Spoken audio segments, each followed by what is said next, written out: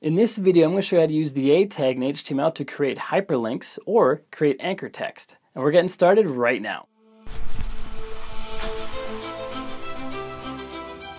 Hey guys, welcome back to another video. It's Bjorn from Higher Learning Lab, where we help you code better so you can earn more for yourself, for your clients, and for your business. If it's your first time here, hit the subscribe button, then hit the bell notification icon so you're notified when I publish more tutorials for you. With that out of the way, let's use the A tag to make some hyperlinks over in the screen capture. I'll see you there. All we have to do is we have the less than symbol and the A, and then we just need to have the greater than symbol. And the attribute that you see here is href, H-R-E-F, which is the most common attribute inside an A tag.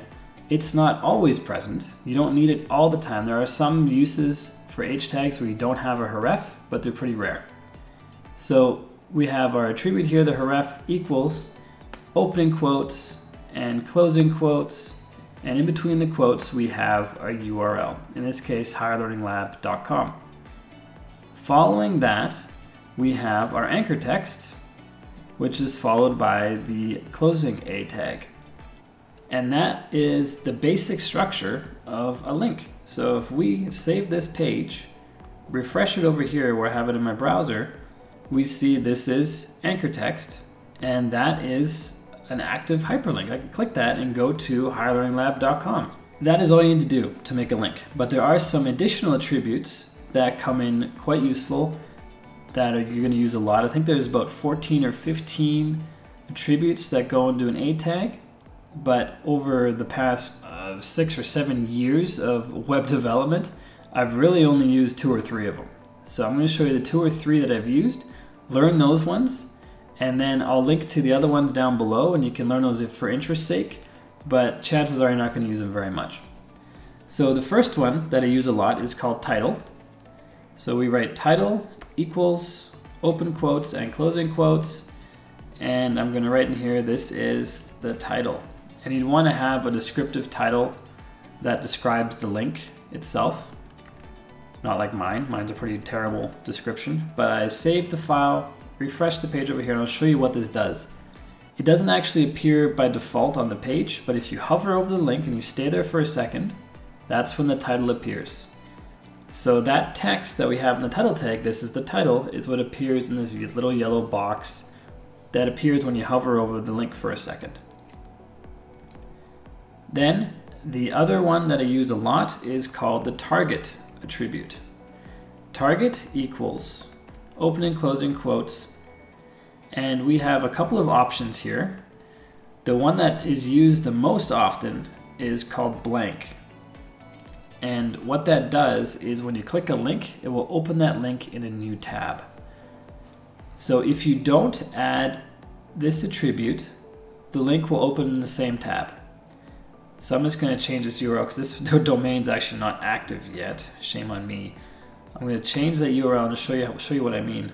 So if we save this file, refresh this page, we click on this link, it will go within this tab to the URL that we specify.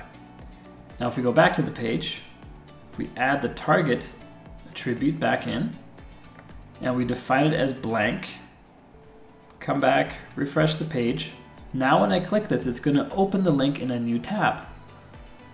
And here's our original tab.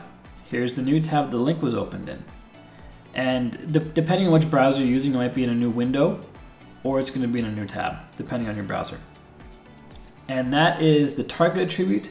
There's a bunch of other um, there's a bunch of other parameters for the target attribute like self and parent, but most often you're going to use the blank or just not have the target attribute there at all.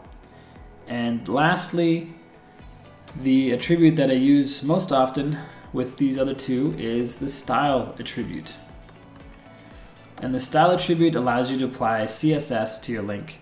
So if you wanted to change the text color, you could have style, color, colon, um, red. Gonna make the link red. Save the file, refresh the page, and our link color is red. And those are the three that are most commonly used for, um, for, for links. So you have your A tag, is used to create a link. You have to have the href in there to actually tell browsers where the link links to. Then the title attribute, the target attribute, and the style attribute are the most commonly used ones. And like I said, there's about 14 in total, 14 or 15 in total. A lot of them are very rare and they're never used. I haven't had to really use them at all in the past six or seven years of doing this stuff. But click the link below this video. Feel free to learn about them. And the more you know, the better, right? So check those out.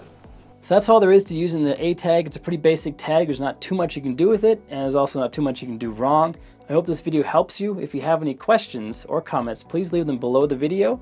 If you haven't done so yet, hit subscribe, then hit the bell notification icon so you're notified when I publish more tutorials. And next up is clicking one of these videos that popped up on the right and learning more about coding, getting even better at it.